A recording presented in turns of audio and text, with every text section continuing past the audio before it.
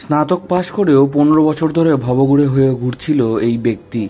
তাকে চুলদাড়ি কেটে স্নান করিয়ে চিকিৎসার ব্যবস্থা করে স্বাভাবিক জীবনে ফেরানোর চেষ্টা একদল যুবকের। ভবঘুরের নাম রাজু বিশ্বাস। শিলিগুড়ি বয়েজ হাই স্কুল থেকে উচ্চ মাধ্যমিক পাশ করে কলেজের গণ্ডি পেরিয়ে গ্র্যাজুয়েট ছেলে। কিন্তু পনেরো বছর ধরে সে ভবঘুরে। বড় বড় চুলদাড়ি দীর্ঘদিন ধরে স্নান না করায় দেখা দিচ্ছিল শারীরিক সমস্যা। তাই রাজুকে স্বাভাবিক জীবনে ফিরিয়ে আনতে বিশেষ ভূমিকা নিল একদল যুবক। তারা সকলেই নিউ বালক সংঘের সদস্য। এটা এটা অ্যাকচুয়ালি আমাদের এই পাড়ার জুনিয়র ছেলে, আমাদের ক্লাবের সদস্য ছিল এক টাইমে এখন ভারসাম্য হারিয়ে গেছে। তা আমরা অনেক দিন ধরে চিন্তা করা করছিলাম, ওকে পরিষ্কার পরিচ্ছন্ন করে নতুন জামা কাপড় দিয়ে খাওয়া খাওয়া দাওয়া করাবো। আর আরও যদি অন্য কাউকেও যদি পাই পাড়ার মধ্যে, তার, তাদেরও এরকম পরিষেবা দেবো এটা পনেরো বছর ধরে এরকমই এরকম ভব করে বেরো বেড়াচ্ছে। আর সুস্থ সমাজে ফেরানোর জন্য চেষ্টা করব। ওকে ডাক্তারও দেখাবো এখন, আমরা চিন্তা করছি। ডাক্তার দেখো ওষুধ দেওয়ার, ওষুধ টষুধ খাওয়ানোর খাওয়া- খাইয়ে ওকে ঠিক করার চেষ্টা করব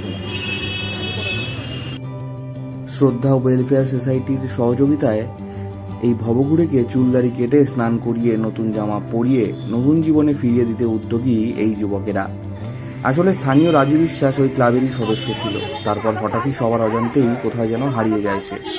চোখের সামনে নিজের বন্ধুকে এভাবে দেখতে না পারায় ব্যবস্থা গ্রহণ করে স্থানীয় যুবকেরা। পরবর্তীতে চিকিৎসা করে কাজের ব্যবস্থার মাধ্যমে স্বাভাবিক জীবনে ফিরিয়ে আনতে চায় ওই যুবকেরা।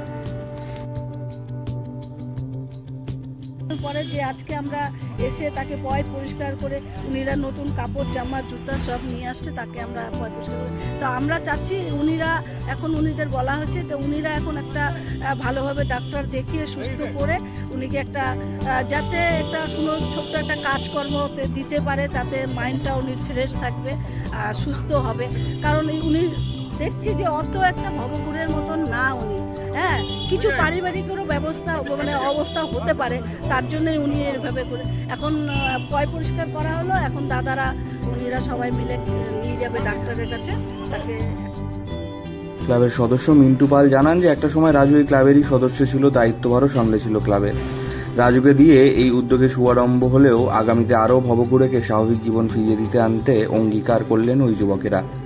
এই ধরনের উদ্যোগে খুশি সাধারণ মানুষ। সমাজসেবী পূজা মুক্তার জানান, এমন বহু মানুষ আছে যারা নানান কারণে সমাজ থেকে দূরে চলে যায়। তাদের সাহায্যের হাত দরকার। শিলিগুড়ি থেকে Anirban Roy report, news eighteen local.